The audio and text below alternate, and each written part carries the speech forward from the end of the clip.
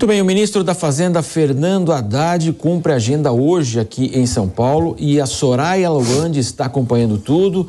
Soraya, qual que é o compromisso de Haddad aqui em meio, né, evidentemente, toda a discussão do arcabouço fiscal? Muito bom dia, Soraya.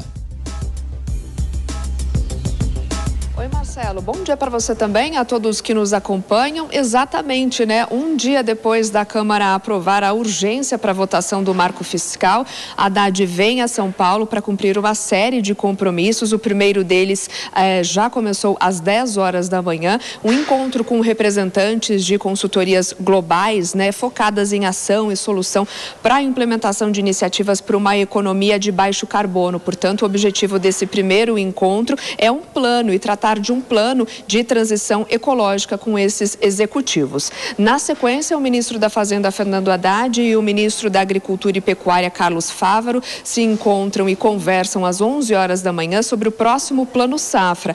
A conversa consta na agenda dos dois ministros, vai ser realizada por teleconferência virtual.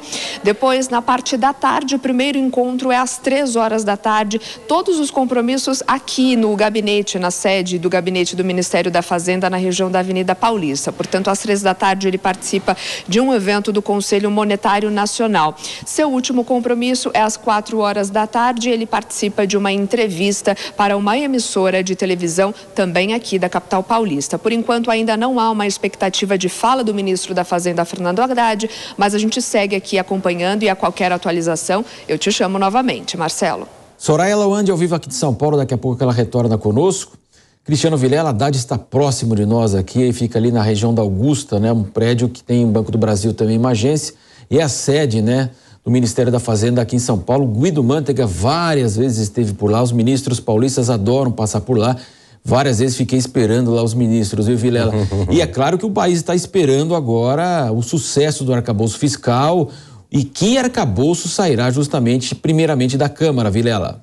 Olha, nesse ponto, Matos, é, eu devo fazer um elogio ao ministro Haddad. Ele, pelo menos, talvez seja um dos únicos integrantes do governo federal que se coloca no sentido de dialogar, de dialogar de forma séria, respeitosa com os mais diversos setores políticos. Não fica preso naquele grupo mais próximo, mais interno do Partido dos Trabalhadores e dos seus apoiadores diretos. E isso é muito importante. Então, Haddad, ele está num, num trabalho intenso para aprovação do arcabouço fiscal, que, embora não seja o melhor dos mundos, mas é um arcabouço razoável que pelo menos dá um mínimo de segurança aos investidores, ao mercado de uma forma geral. E, de alguma maneira, ele tenta fazer uma ponte com setores importantes, setor financeiro, setor do agro, setores que são relegados a um segundo plano pelos demais ministros do governo federal e especialmente pelo presidente Lula.